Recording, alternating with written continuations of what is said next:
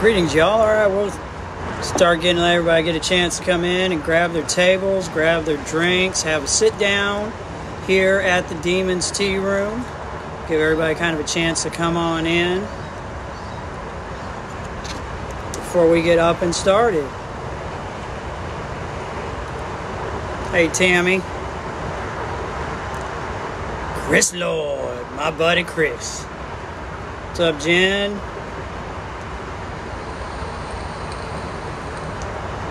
Mr. Kyle.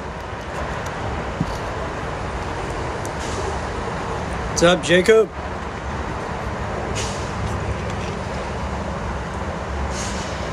Rachel, nice to see you. Welcome into the tea room.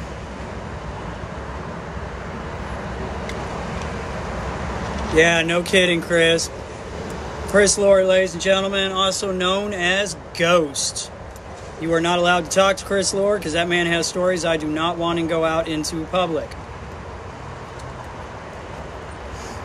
Also, big, huge shout out to Chris. He's on the front lines there of this stuff, doing what he does, uh, making sure and doing his best to make sure everybody goes home at night. Danny, Christy, what's up, y'all? Casey, Lisa, what's up, y'all? Miss Crowley. What's up, David? There's my lovely wife. She's here. Much love. oh, she's in the room. I can't talk about her. That's never stopped me. What's up, Mike?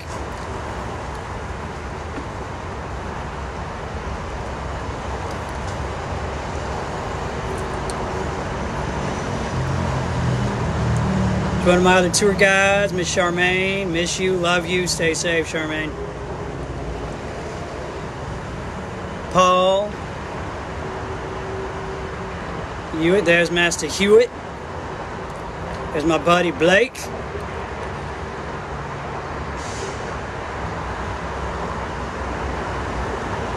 Dana Smith, welcome y'all. Miss Sabrina, much love, much love. All right, y'all, looks like we got about bunch of people coming into the tea room today. I love to see it. Love to see it. Gives me a way to to talk to you guys and check on everybody out there. So, everybody, welcome to the Demons Tea Room. Not your grandmother's cup of tea. Post-apocalyptic edition. Um, so get started today. Um, we have a new announcement last night. Evie and I sat down we and I've got a calendar in front of me. We're actually getting a little bit more um, organized on what we're doing, but we came up with different subjects for the day. So, give you guys just a little little taste. We're gonna have Supernatural Sundays, Monster Mondays, Terror Tuesdays, Way Out Wednesdays, Throwback Thursdays, Forgotten Fridays, and Science Saturdays. So it gives us a chance to get all these stories into specific times and stuff like that, dates um, of what we're going to be doing. More for my sanity than anybody else. As Miss O'Malley, welcome y'all. Welcome. Come in, grab a seat. So today, ladies and gentlemen, since this is Thursday, I think it's Thursday. Yeah, it's Thursday. Um, we're going to be going back to Throwback Thursday. So today, we're going to dive off into just a little bit talking and get you guys familiarized with the street we have here in town that used to be called Gallatin Street. And then off of Gallatin Street, we are going to take a walk right up past the Ursuline Convent to 616 Ursuline Street. And we're going to talk about and introduce you guys to the Villa Convento Hotel. Now, before we dive off into the Villa Convento, because I'm excited to get in, there's a lot of paranormal activity that goes on at the Villa Convento and its history. And whether you guys have known it or not, you have heard of the Villa Convento before, but we'll keep that for here in just a couple minutes. So let's jump back to Gallatin Street. Now, anybody who comes to the city of New Orleans, if you've gotten a chance to go down Decatur, down to the French Market, there where the U.S. Mint is located, that two block area right in there that is today is known as French Market Place. Now, this is where the French Market is sit. The starting of it is technically right there at Cafe Du Monde. Once you just get past Cafe Du Monde, just what that's French Market Place. Now, back in the day, late 1700s up into the early 1800s and into the late 1800s, around 1880. That street was known as Gallatin Street. And it was known to be, in the entire United States, the roughest two block stretch of area of any port city in the continental United States. Keep in mind, it's right up there against the wall that is now the wall that is the Mississippi River. This was where the port was located. So all of these sailors and such coming into the port of New Orleans, as well as travelers coming into the port of New Orleans. There's one of our truckers keeping the, the lines open. You honk all you want, brother. Um, all of that human cargo coming in through the port of New Orleans came onto Gallatin Street. Now, Gallatin Street was where a lot of the brothels were located, the gin joints, the whiskey joints. They actually have some names for the type of bars that are underneath a whiskey joint, the kind of places you just didn't really go into. Um, those were there. And then people had their apartments and lived in the houses above this area. Now, there was this area was run by a gang gang known as the Live Oak Gang. And keep in mind, law enforcement at the time refused to go into Gallatin Street if they didn't have to. It was said that if you could walk from one end of Gallatin Street, from that two blocks to the U.S. Mint, with your wallet and your life intact, God walked with you because it's the only way you were going to make it to the other side. Now, once you start diving off into the history of Gallatin Street, which is not that easy, keep it in mind, we don't change the name of anything in this city. This street was so bad. How bad? So bad that the city of New Orleans has gone out of its way to bury the history of Gallatin Street. Um, you have to do some real digging into the university archives and the city archives to find information on Gallatin Street. Um, like I said, it was run by a gang known as the Live Oak Gang, and it was very heavily Irish American that ran that street. And most of the individuals that ran those streets, what's up, Toast? Miss you, brother. Um, that ran Gallatin Street were ladies. There was a lady by the name of Coppertop, and we'll do a special live cast where we go into some of the stories of Gallatin Street because that's a completely live uh, live view conversation on just the stories of Gallatin Street. But Coppertop was, we believe, historians believe rather intently, that she was responsible for at least four murders never went to jail for them. She did, I think, a max inside of the city jail for less than a week. Um, she was real close with the powers that be in the mayor, if you know what I mean. Um, just saying. And so this woman was so bad and she was so intense that it was said that she had a custom dagger made that was headed on each end. That she would have this dagger in her left hand and be pouring drinks with her right hand and able to stab somebody with each side of the blade and never spill a drop of the drink that she was pouring. Um, keep in mind, you're talking about 17th and 1800s Irish women. Oof. So we'll get deeper into those stories on another episode of the Demons Tea Room because I'm I'm kind of jonesing to jump into the Villa Convento. So if you're walking up Decatur Street with me and we're looking at the French Market, we take and cross to Cater, we take a left, we go up Ursuline just a wee bit. We're going to wind up, we're going to pass the Ursuline Convent right there on our right, home of our vampire lore and legends here in city of New Orleans, and we'll have an episode on those. we're going to walk up the block just a little bit, and there at 616 Ursuline is the Villa Convento. Now, I know I don't have the the fancy, you know, putting up the the visuals yet. I'm working on that. I'm still learning how to do all this streaming stuff. So we're going to go old school. We're going to show you guys. You're now standing at the front of the Villa Convento.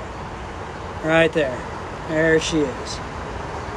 Now, the Villa Convento has been here since officially the building was built in 1833 and it is a Creole townhouse structure. Now, the Villa Convento had switched hands off and on. It was a brothel for a while. Go figure. It was right there off of Gallatin Street.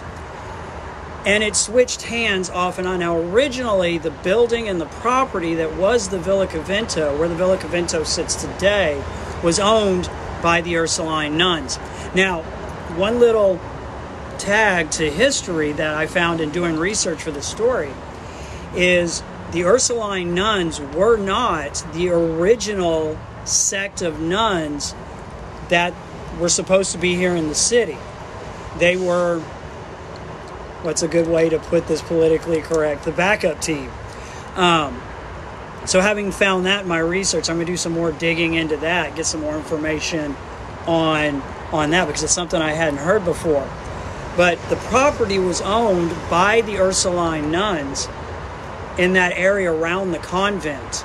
And a lot of that area today, like we have the Provincial Hotel, um, uh, Beauregard-Keyes house, all of that sits on what was the Ursuline convent. So when the nuns started selling that off, people bought it and started putting up houses and that sort of thing. And that's what we have here with the Villa Convento. Now, 1833 was owned by a Frenchman by the name of John Baptiste, John Baptiste. And uh, don't shoot me for the names, I am bad with names. But Jean Baptiste was the one who built the original building that we know today as the Villa Convento that still stands today. Now, and I've got my notes out here, so don't hold me. I'm getting old and my memory ain't what it used to be. Um, so it went through, changed hands, was a private residence for a while, then became a bordello around the 1860s. Now, keep in mind, this is the time of the Civil War. The Civil War is kicking off. Very shortly after the start of the war, the Union moved into here and took the port of New Orleans as a strategic location. And so, all through that time period, it was a bordello. Now, Real quick, let me describe to you how our bordellos work. Now, a lot of people hear of a term known as Shanghai, and this term became into our vernacular mostly from the Seattle area. Now, it did happen here in the city of New Orleans, and a lot of our bordellos, including where the Villa Convento is, was known for this. It was not uncommon in our bordellos for people to come in, do what you do in a bordello, and they would have people beaten, both men and women. Uh, men were being drugged, having they would wake up, find themselves on a deck of a ship out in the middle of the Gulf of Mexico, completely stark raving naked. Um, or they were killed and their bodies were dumped somewhere on Gallatin Street. Um, and on top of that, syphilis and those diseases ran rampant through our bordellos. And this down the line will lead into a story we'll talk about when we get into talking about Storyville and our red light district here in the city of New Orleans. Now, the Villa Convento was a bordello um, all the way up until the late 1880s when it was when Storyville took over and all of those bordellos were shut down off and in and around Gallatin Street were moved over into uh, Storyville, or red light district. Now, if you guys get a chance, you go into the Villa Convento um, as we move up into history. Um, and it says here in my notes that it was a private residence from 1902 And then a family lived in residence all the way up to 1946 when it was turned into what we know of today as the Villa Convento Hotel. Now, if you guys get a chance to come down here, you stay here. Um, you want to stay in room 305. One of our more famous guests who has stayed at the Villa Convento, and they've actually named the room after him, is Jimmy Buffett for all of our parrot heads out there. Um, but his room is room 305. Um,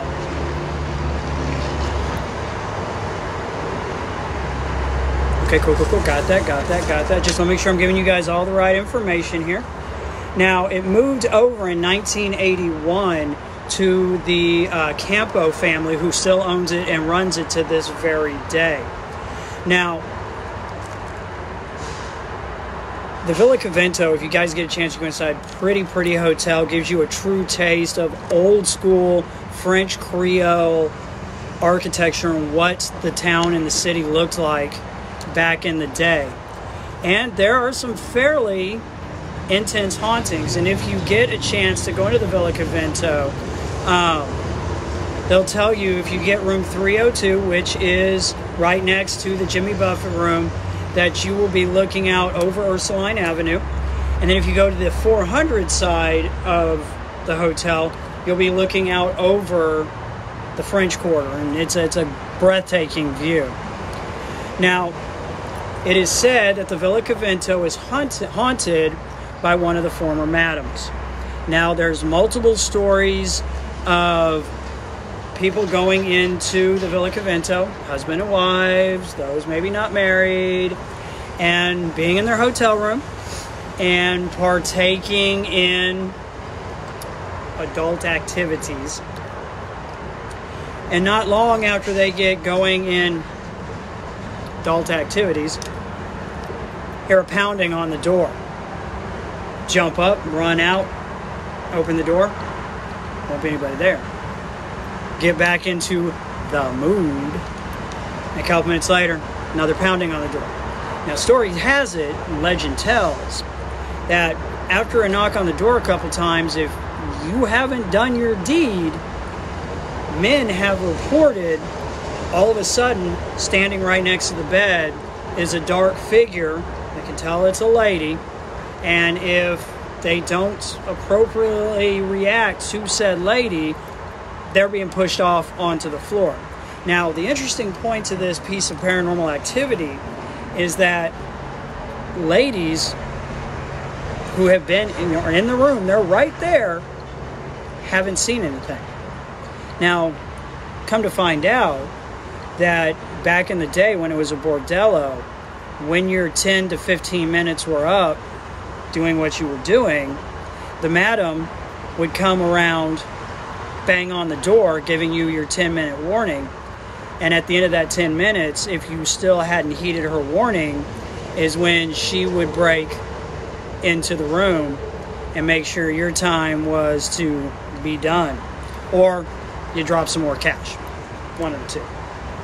Now, the other thing that's been reported in the Villa Convento um, on numerous occasions is there was a couple one night, and this is one of the more widely known and popular um, stories, is that a husband and wife came in, gone out, enjoyed their day, walking around the French Quarter, doing everything you do in the quarter, came back in, got in their hotel room. They were going to sit down, enjoy an evening, watching TV and that kind of stuff. In the room right behind them, they heard moving around and that sort of thing. And then I'm sure a lot of us have been there, heard people having adult time in the room next door, rather rambunctiously and loudly. And so they kind of giggled it off. Ah, newlyweds. Must be newlyweds. And so they giggled it off, went on about doing what they were doing. So they had dozed off while watching TV. And a couple hours later, they're going at it again, loud and proud. So it was starting to get a little bit irritating. They'd bang on the wall every now and then, and it'd quiet down, quiet down for a couple minutes, and then it'd kick back up again. So the next morning, they were going to check out of the hotel, and they were down at the concierge desk, and they made a comment about how loud the newlyweds next door had been all night. And the lady working the front desk was like, um, "We don't have have any any newlyweds." Um, they're like, "No, yeah, no, they were in their room last night. Trust me, we heard it." It's not, no, ma'am, no, sir. There is actually and can't be anybody in that room. Let me show you. So, front desk took them up right next door to their room, opened up that room, and that room had actually been completely and totally gutted out and was in the process of being refurbished to the point there was sawdust over everything inside. There was no furniture. The room had been gutted. There was no way somebody had been staying in that room. So that's one of the legends and the stories that people hear there in the Villa Convento all the time. Now, I told you guys at the start that you had heard of the Villa Convento, you just didn't know it. Now, I'm sure some of you guys remember a song a couple moons ago called The House of the Rising Sun believed here in the city of New Orleans that that song, The House of the Rising Sun, in that song they are talking about the Villa Convento. Now, there are some people out there, some historians, that have talked about that it was multiple different brothels around the city of New Orleans. Um, keeping in mind, we had Storyville, which was our red light district. You had an area on the backside of the quarter known as Smoky Row, that we're going to be talking about some of the paranormal activity that has been reported along Smoky Row even to this day. Um, that's going to be another another one of our episodes. But needless to say, like I said, you guys have heard of the Convento. So the next time you hear House of the Rising Sun, you can kind of raise an eyebrow and smirk just a little bit because now you know a little bit of the backstory of that of that story. Um, now, one woman reported in room 302 that she had actually had an apparition who had actually started to appear in room 302. Um, and so there are some of the workers there in the hotel who refused to go up into room 302 and 305, the Jimmy Buffett room, by themselves um, because of how active that room has been. Um, because I know a lot of you guys are the way you are when you come down to stay at the Villa Convento. If you can't stay in the Jimmy Buffett room there in room 305, ask for room 209. 209 has been reported as the most haunted hotspot in the entire in the entire house. Um, it is historically known. I don't have a whole lot of information on. We're going to have to do some digging into it. I'll probably grab Charmaine and Toast to help me do some digging into this story. Um, but room 209 reportedly there at the Villa Convento is where a gentleman uh, in the mid 20th century is all I've got so far committed suicide there in the bathtub of the room. And they say in the notes I have, have here that there's there's not a whole lot of knowledge on it, but that the management staff reports um, hearing voices, having personal belongings moved in and around the room when nobody's been in the room. Um, the one that's really interesting to me is in the notes here, they talk about seeing a white flag hanging from the balcony of room 209. People have reported it and come in and ask, What's the white flag for? They go out, the white flag's not there. So this is another little piece of interesting paranormal that people can't can't find an explanation for there at the Villa Convento. So that's just a small little dabble and taste in of some of the stories there at the Villa Convento and what people have have reported. The madam is known to walk the halls. Um, a lot of the paranormal activity will show itself more to males than it will females. Um, there is a story of a gentleman who was standing in the main entryway and his wife was up at the concierge desk, was getting them checked in into the hotel, and he heard a female voice call his name. And he turned, he looked around, there was nobody there, he didn't see anybody, kind of scratched his head at it. Later that night, when they were in their hotel room, he heard that same female voice again, and his wife, who was right by him, didn't hear it. So one of the theories is is that he was hearing uh, the madam.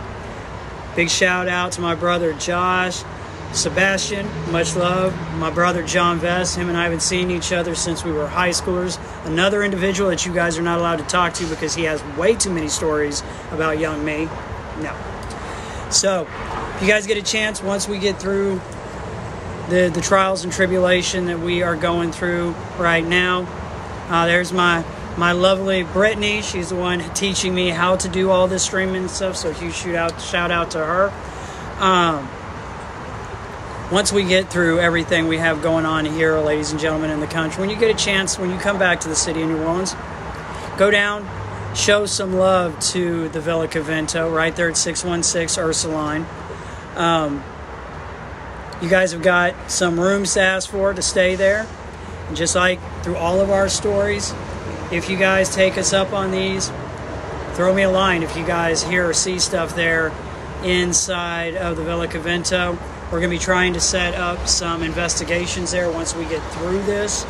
a lot of the hotels means that we have to rent a couple rooms for the night, which is cool, which means we can set up overnight and do our investigations. So be looking for those. So, guys, that's going to be pretty much it today for the Demons Tea Room. Um, hope you guys enjoyed the story of the Villa Convento. Um, as I said, we are going to be uh, posting this on the YouTube channel. You guys can do me a huge solid by going on the YouTube channel, smash the subscribe button, smash that like button, hit the bell so you're notified of new episodes we have coming up. Um, before we go today, update not a whole lot has changed here in the hot zone of New Orleans. Um, the quarter is pretty much dead. Right now, everything is locked up. Everybody's just kind of hunkering down in place. The numbers, much like the rest of the country, are rising. Um, so things are, are pretty much status quo right now. Not a not a huge amount has changed, and for us anyway, in the past couple of days. Um,